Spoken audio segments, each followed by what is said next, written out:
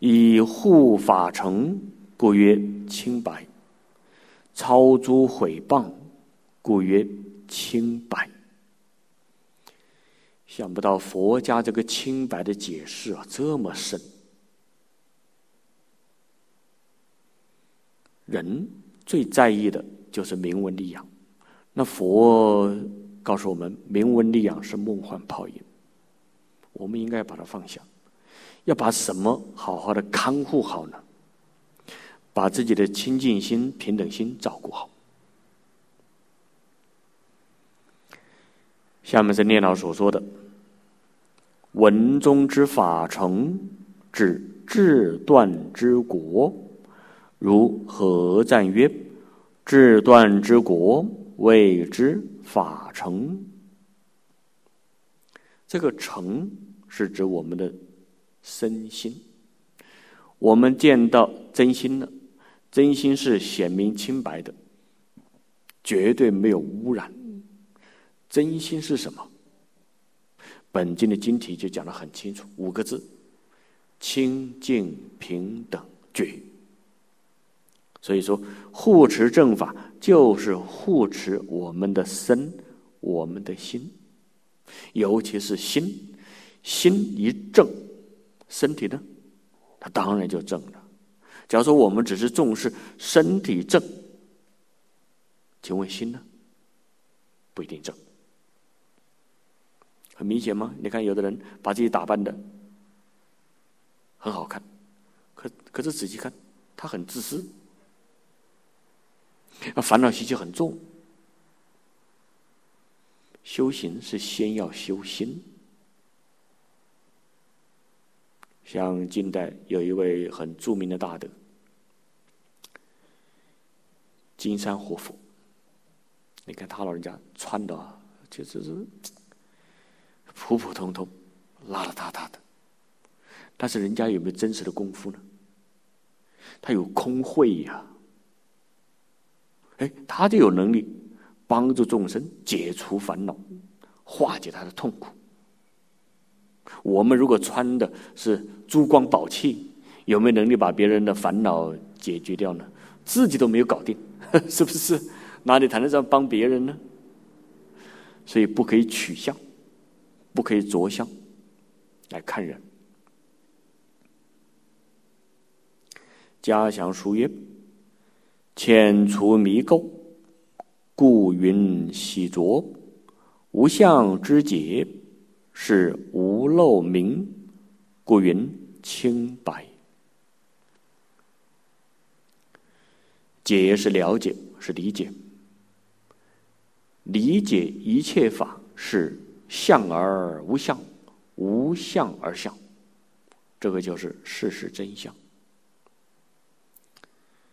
佛家常常讲四个字来描述我们这个十法界的真实状况：梦、幻、泡、影。大家都做过梦，梦中有相，对不对？有人、事物，有山河大地。可是，一旦醒过来呢，去哪里了？但是我们在梦中真的感受到有那个像的，但是这个像是个假象。晚上做梦知道不是真的，那现在我们白天呢？其实我们现在白天有没有在做梦啊？继续做啊，白日梦，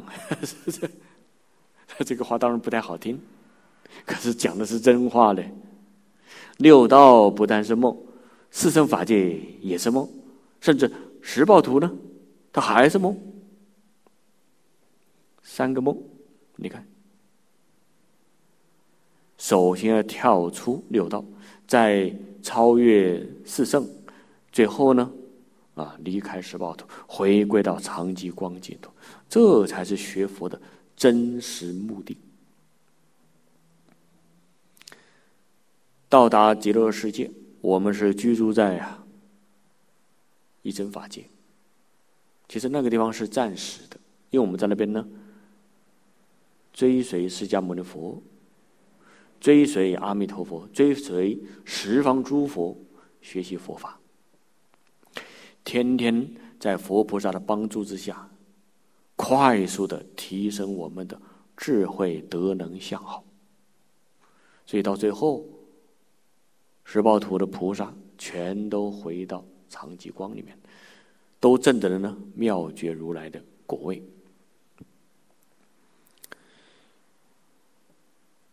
加强书讲，无相之解是无漏明，故曰清白。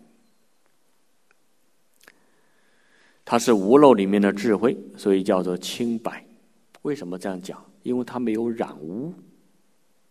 有真解曰：洗浊垢污，显明清白，是素与德。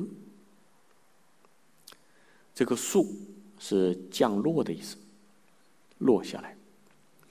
雨有能洗物垢污。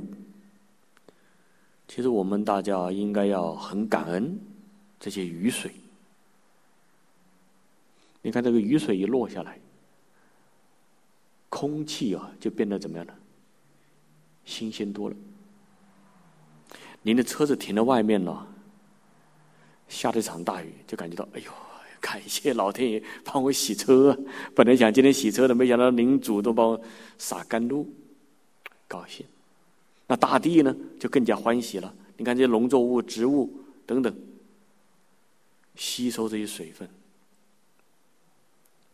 它不光是能够洗濯垢污，还能够显清白体之德。极乐世界那边的雨啊，很有意思。该下的时候它就下，不下的时候呢，一滴都没有。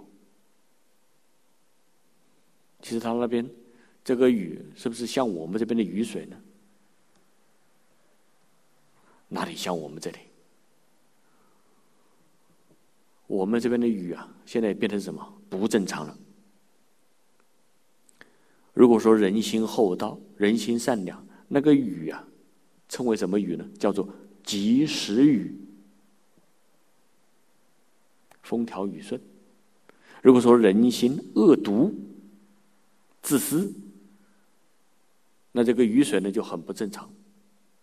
该下的时候不下，不该下的时候呢，连续下，造成水灾。